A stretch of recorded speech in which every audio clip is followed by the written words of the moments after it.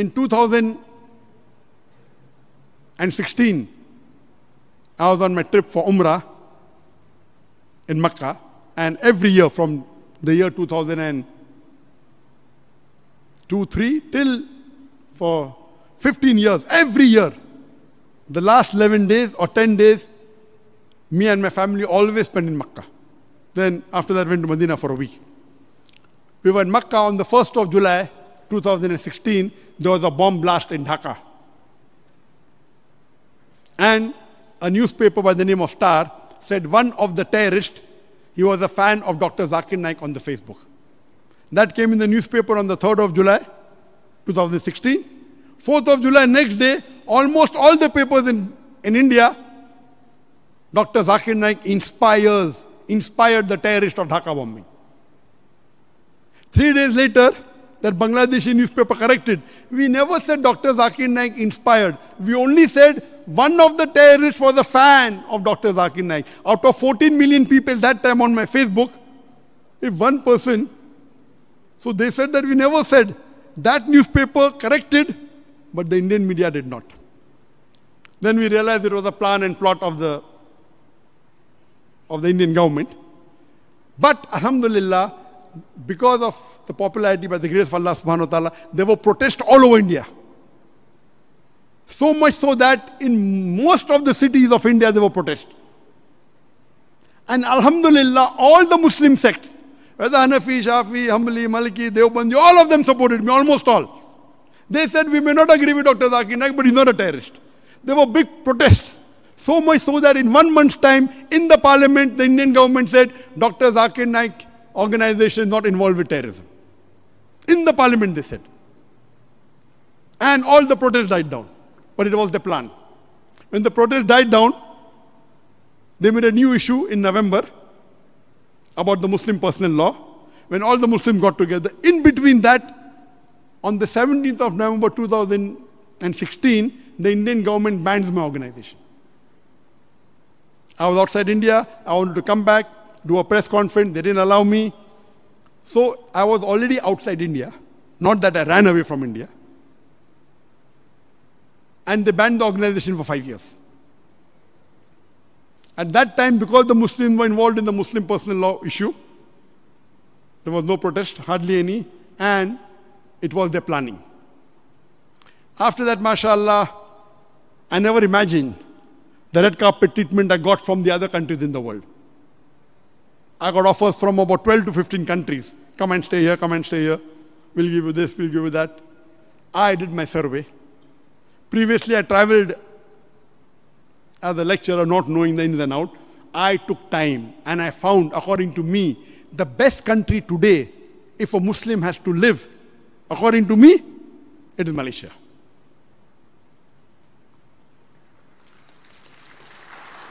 I can give a one hour lecture why Malaysia is the best country. Time doesn't permit me. And I said that. Number one, Malaysia is away from the war zone. You know, Gulf country, know, war zone, Yemen, Syria, what is going on. Number two, it is not under the clutches of the Western power like America, etc. Number three, according to me, the best non-Arab country in the world in which Muslims are the most practicing, according to me, is Malaysia. An average Muslim in Malaysia an average Muslim in Malaysia is a better practicing Muslim than an average Muslim of India or average Muslim of Pakistan or average Muslim of Bangladesh. And this is my own research. And I can give you proofs. Dr. Zakir Naik always preach with proof. On average, uh, um, if you see in Malaysia, in India, how many people pray five times a day? How many? Not less than 10%, some services less than 5%. How many people pray five times in a mosque? Less than 2%. Same in Pakistan, same in Bangladesh. In Malaysia, mashallah, according to me, more than 50% pray five times a day. In a mosque, more than 25%. You go to the mall, there are people praying in the mosque. So as a practice in Muslim, except non-Arab countries, Gulf is a different thing, Saudi Arabia is a different thing. The best non-Arab practicing Muslim country is Malaysia. Point number three. Point number four, point number four, the federal religion of this country, Malaysia, is Islam. Point number five, in most of the countries, in most of the states of Malaysia, where Raja is there, a Muslim can propagate to a non-Muslim, or non-Muslim can't propagate to a Muslim. Point number six, the government funds the mosques and the Islamic activities like Baitul Mal, there is zakat. And you see, every mosque, now the new mosque coming to Gufran Mosque, the mosque is there, there's a basement, there is a place for the imam, there is a place auditorium, you go to Kuel Mosque, beautiful. You don't find this in other parts of the world. Point number, point number seven. The country which has the best Islamic economic system, that, that, that interest-free banking, it's in Malaysia. In terms of quantity, Saudi Arabia is number one. But in terms of number, in terms of value of dollars, Saudi Arabia is number one. Malaysia is number two. Saudi Arabia 25%, Malaysia 17% of the economy. But in terms of banking system, the easy facility of riba-free banking, it is Malaysia number one. Every bank has, has an Islamic Sharia, an interest-free account. Alhamdulillah. There is takaful, there is insurance, and I can go on and go on. Time is short. Next point is Malaysia is a beautiful country. The scenery, the tourism is excellent. You can go to different parts. And tomorrow I'll be trying to Langkawi, mashallah. It was rated as one of the halal tourism. Alhamdulillah. In terms of living, the, the percentage, the expenditure in Malaysia, the standard of living is good. The expenditure is less as compared to the Gulf country. Malaysia, mashallah, is an economically strong country. Now, because of pandemic, most of the countries are down. That's a different thing. And the list is long. Time doesn't permit me. So I chose Malaysia. I never thought in my life before that ever I will have to leave India. I thought they will stop my I never thought in my dream that they'll accuse me of terrorism. So they went to the Interpol in 2017 and they requested that Dr. Zakir Naik should have a red corner notice. Then we called a lawyer, a very famous lawyer in UK, and he came to advise me. He said if any country requests Interpol for terrorism charges, 99.9% they will give it. So I said, why have you come here then? What I can do, I can delay the red corner notice. How long? Two, three months. Nonsense. But Alhamdulillah, when Indian government sent the request to Interpol, Interpol rejected it. Outright. In 2017, they requested. 2018, Interpol had a committee. MashaAllah, maybe they saw my cassette. They said, no, Dr. Zakir Naik, there is no evidence he's a terrorist. There's no charge sheet filed against him. There's no proof. So again, in 2018, Indian government requested the second time to Interpol and they changed the charges from terrorism to hate speech. And they gave sample of my hate speech. Interpol again had a meeting in 2019 and they said, no, he does not give hate speech. Then 2019, again they're fresh. Okay, Dr. Zakir Naik, now they've changed the charges to money laundering. Oh, he's collecting money, he's doing money laundering. What a beautiful reply Interpol gives in 2020 21, 11 months ago. In February, they write, Dr. Zakir Naik, there is no proof at all he's doing money laundering. If he collects, he has a right, he's following the law of the country where he's collecting. Never do we collect illegally. And it was a slap on the Indian government. There is not a single court in the world which has put any verdict against me. In 2019, in 2018, sorry, when the, when the NIA and the ED, they attached my property, we went to the court. The head of the tribunal, Dr. Manmohan Singh, fortunately, he had seen my videos. He said, I have seen Dr. Zakir Naik's video. Give me one evidence, any one lecture of his, in context, where he supports terrorism, I will attach all his properties. Imagine a Sikh, a non-Muslim. He is saying, the judge is telling the lawyer, I have seen Dr. Zakir Naik's video cassettes. Show me any one lecture of his, in context, where he has promoted terrorism, I will attach all his property, and there was a stay. So by law, by court of law, I have not been convicted at all. Yes, because I did not go back for the case, there are arrest warrants against me, but not a single court has convicted me anywhere, nowhere in the world. And Indian government tried the level best with many countries, to get me back, including Malaysia. Alhamdulillah, Malaysia has been strong. The government kept on changing. All the government supported me because they knew the truth. They supported the truth. That's the reason I said that Malaysia, mashallah, is strong country. And mashallah, they do not bend down to pressures of the international. Though the relationship of India and Malaysia is good, but alhamdulillah.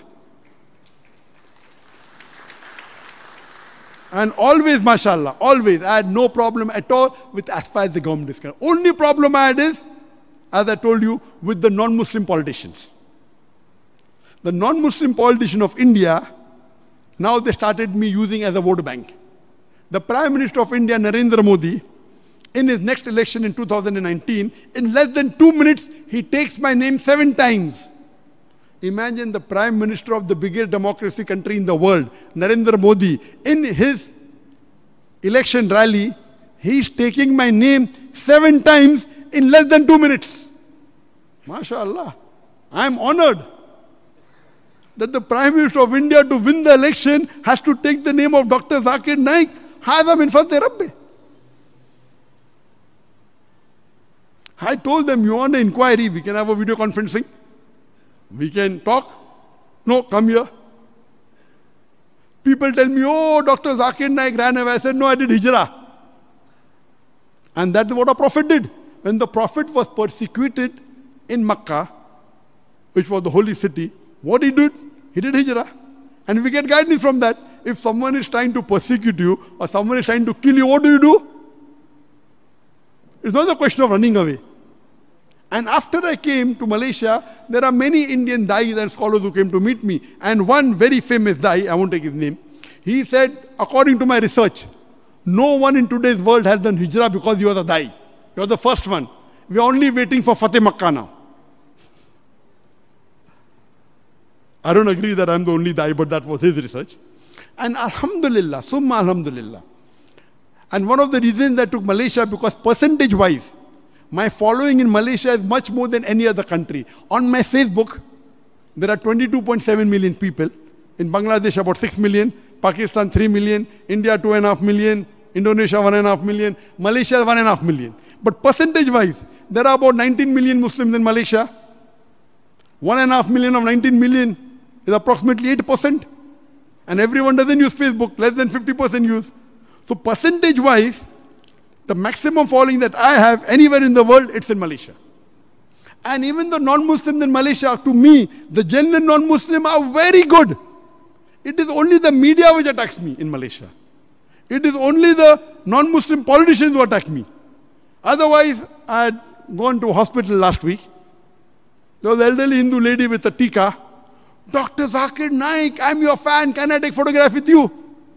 So normally when with ladies, I always want, you know, a mahram in between or a gen. So I said, if there's a gen in between, no problem. So she took. Then another person who came from a big company, I won't name the company, a Muslim came, Malay and a Hindu. He said, sir, can I have a photo with you? Before that, I went to a doctor. And he looked like an Indian. I thought he was a Muslim Indian. He said, I cannot charge you. I said, why? I'm your fan. And he gave me his card. He was a Hindu. So, like India, even the Hindus here generally are good. It is the political motivated people who, for the vote bank, like in India.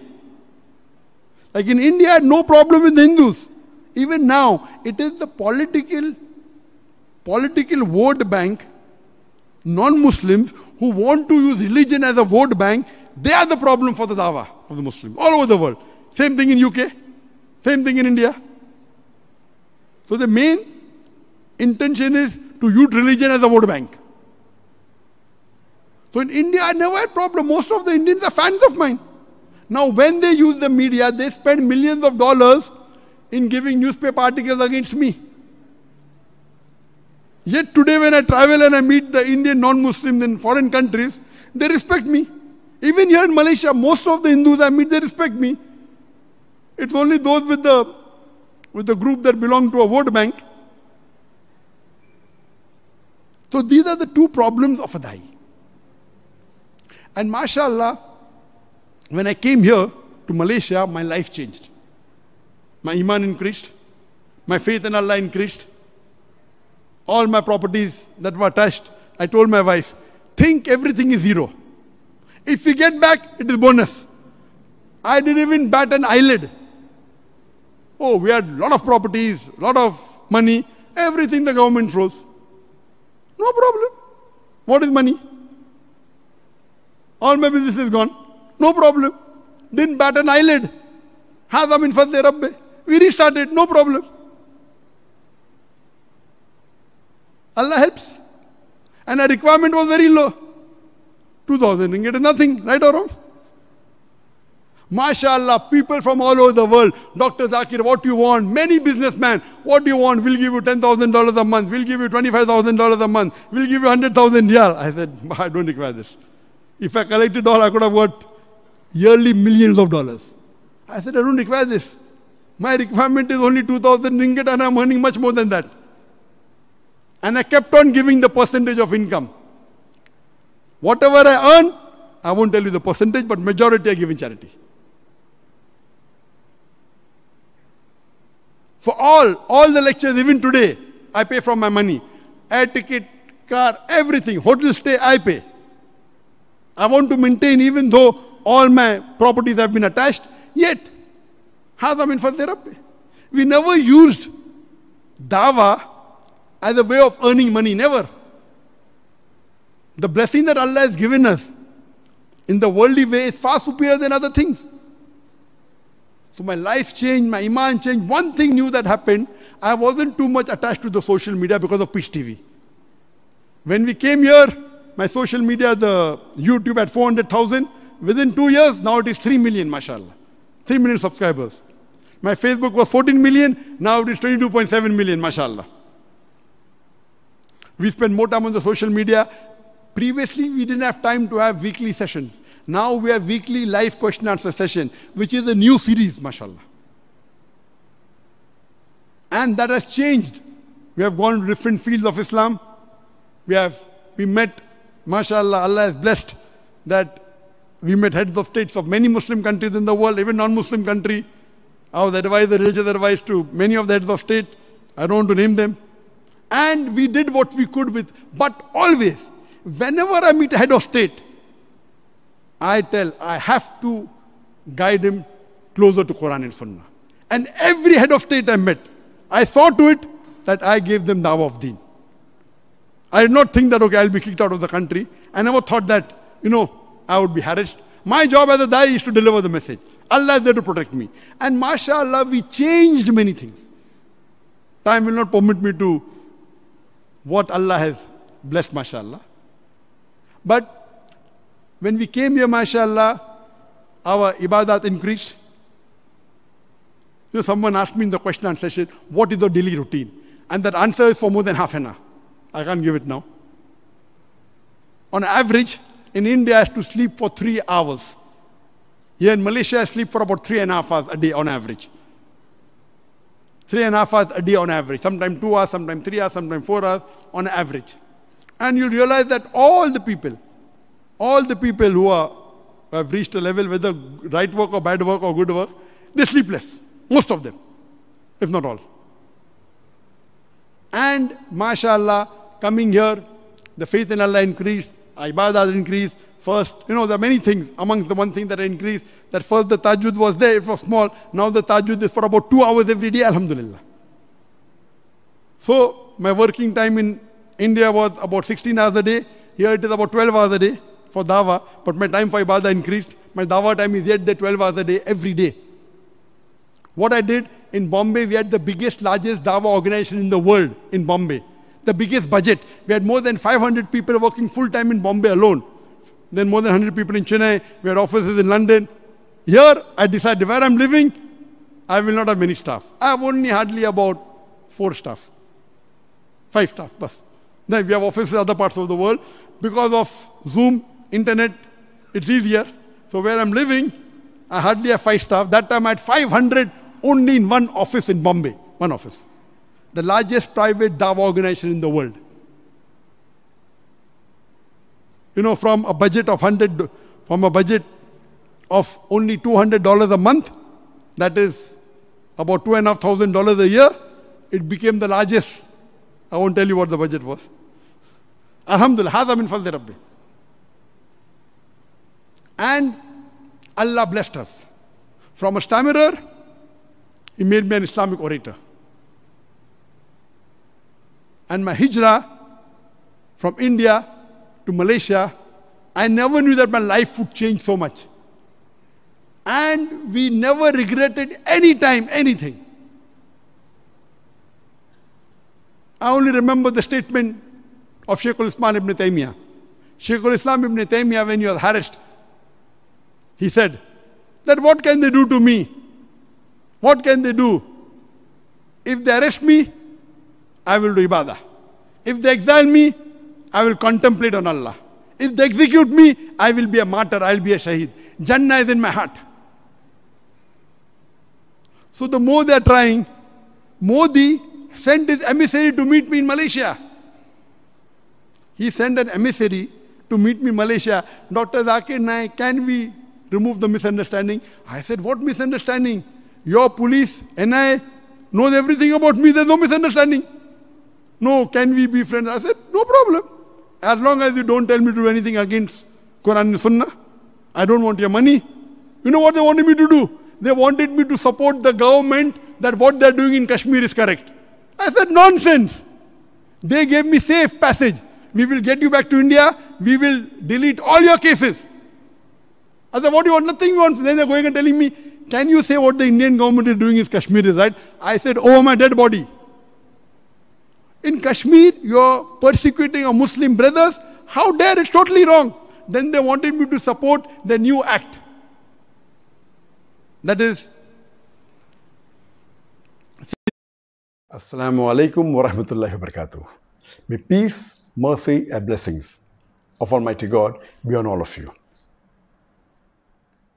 In the last 24 hours, I and my PR have been approached by scores of journalists and media houses regarding the statement made by Sheikh Yasir Qadhi, a renowned Daik from USA, on his social media accounts regarding myself whether these statements are true or not. Three and a half months before, the Indian officials, they approached me for a private meeting with a representative from the Indian government. And when he came to Putrajaya in the fourth week of September 2019 to meet me, he said that he is coming after personally meeting and under the direct instructions of the Prime Minister of India, Narendra Modi, and the Home Minister of India, Amit Shah.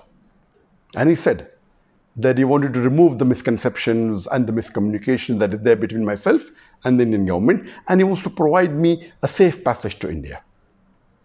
I thought that imagine the same BJP government which hounded me for the last three and a half years, the same person, the Prime Minister of India, Narendra Modi, who used my name no less than nine times in a span of less than two minutes in his election speech in May 2019. Now they are bartering with me for a safe passage.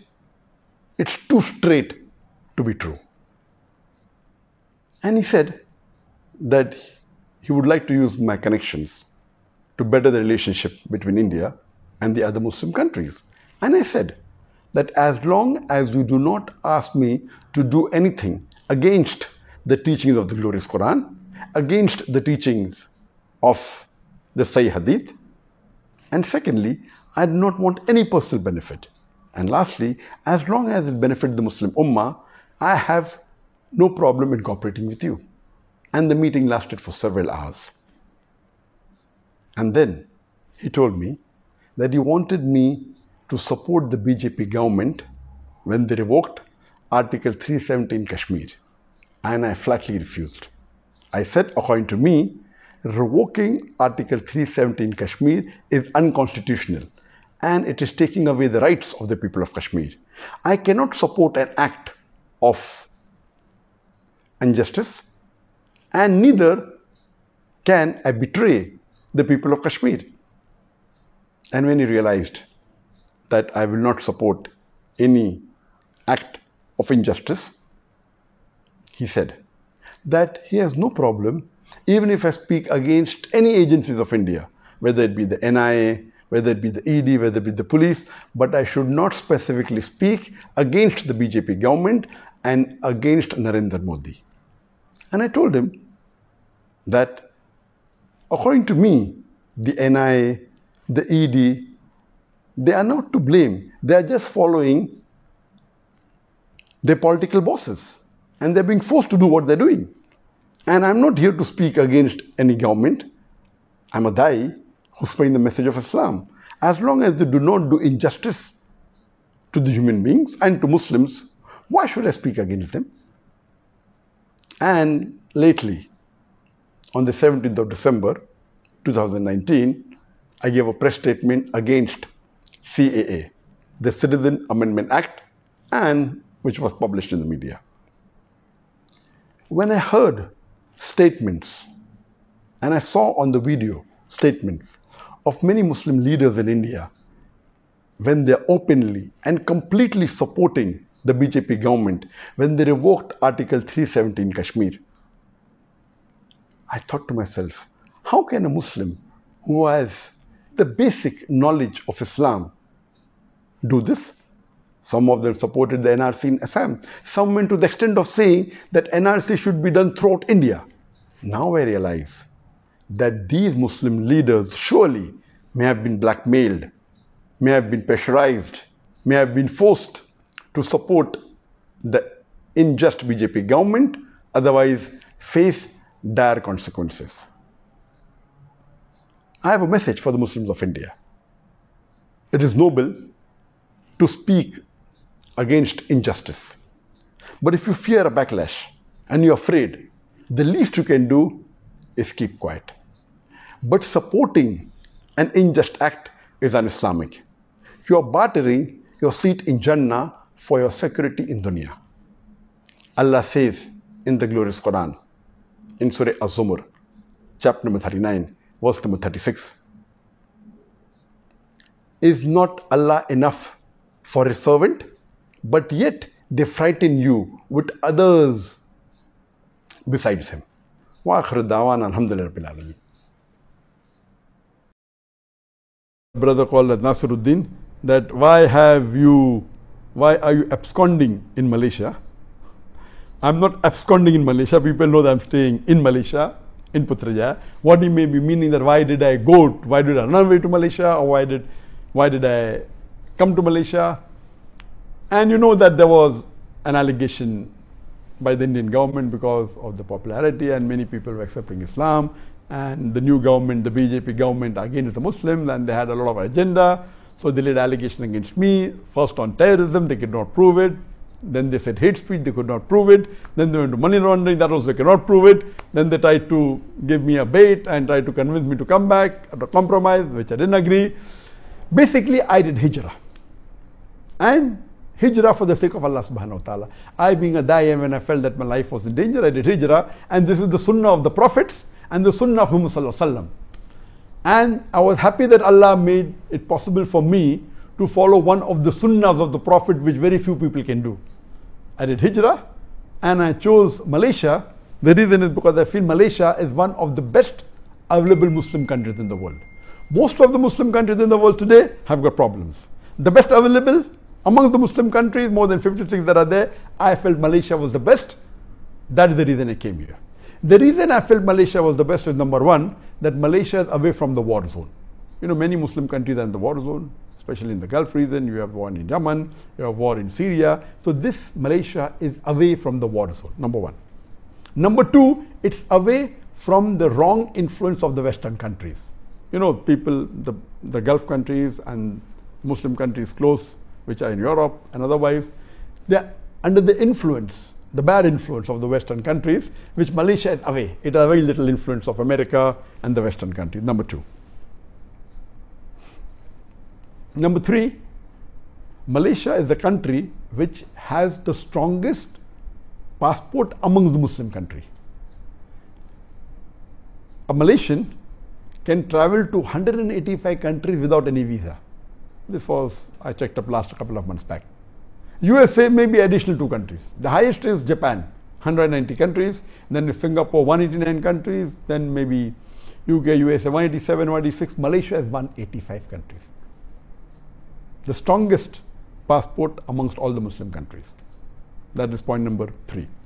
Point number four, amongst the non-Arab Muslim countries, I'm not talking about the Arab Muslim countries, the non-Arab Muslim countries, on average, a Malaysian, according to me, is a more practicing Muslim than an average Indian or average Pakistani. I not mean bad for the Indians or the Pakistani, even I'm an Indian, Indian Muslim. An average Indian Muslim or average Pakistani Muslim or a Bangladeshi Muslim, any non-Arab Muslim, Malaysia is, on average, a Malaysian Muslim is more practicing. You have the percentage wise, if you see a survey that says that in India, the Muslim coming to the five times compulsory Sun mosque is just a minute percentage. In Malaysia, it's a high percentage. The people fasting is a high percentage. That's the reason, as compared to the other non-Arab Muslim countries, the practice of Islam is stronger. That's point number four. Point number five, that in Malaysia, the federal religion is Islam. So you don't have to feel shy to call yourself Muslims. There are many Muslim countries where you feel shy to call yourself a Muslim. The majority are Muslims, more than 90% are Muslim, but because of the atmosphere, because of the so-called secular government calling themselves Muslims, so these were the reasons that I chose Malaysia over other countries. I had, I had got requests from more than 12, 13, 14 countries to come and stay there, and I chose Malaysia as the best amongst the one available.